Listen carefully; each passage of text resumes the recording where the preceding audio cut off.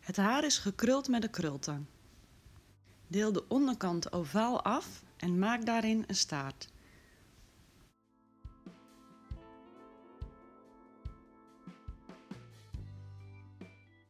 Het bovenste deel deel ik in tweeën, leg het over elkaar, trek wat plukjes los en zet het vast met een schuifspeld, een elastiek en een schuifspeld.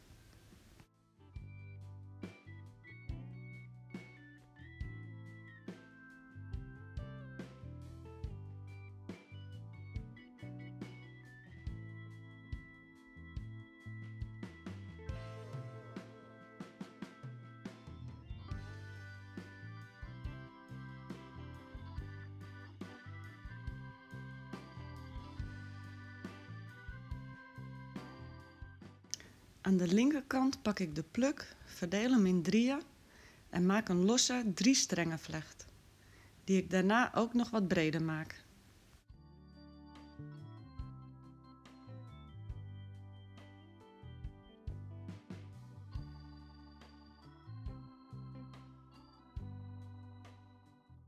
Met een schuifspeld zet ik hem vast.